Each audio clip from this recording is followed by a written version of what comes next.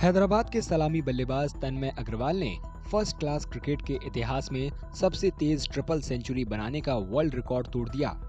उन्होंने शुक्रवार को हैदराबाद में अरुणाचल प्रदेश के खिलाफ Ranji trophy plate group match में 300 रन बनाए।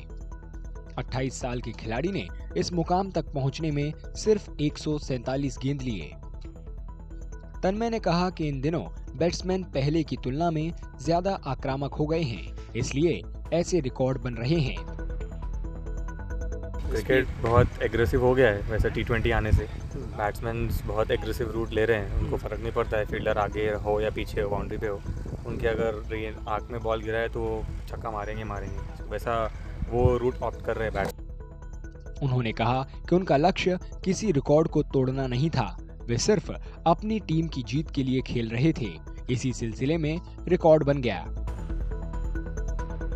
ऐसा कुछ नहीं था बस नॉर्मल खेलने का था। लीड लेकर बड़ा टोटल खड़ा करके फिर ऑल आउट करने का प्लान था। हम्म। बस वो खेलते खेलते ऐसा हो गया हम्म। कि बन गया रिकॉर्ड मेरा कोई प्लान नहीं था पहले। पिछला रिकॉर्ड दक्षिण अफ्रीकी क्रिकेटर मार्को मरेस के नाम था। उन्होंने बॉर्डर और वेस्टर्न प्रोविंस के बीच मैच में एक सौ इक्यानवे गेंदों में रिकॉर्ड बनाया था।